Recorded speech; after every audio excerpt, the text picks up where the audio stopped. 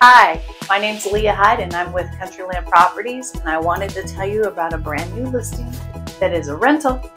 If you are looking for a rental home, let's go look.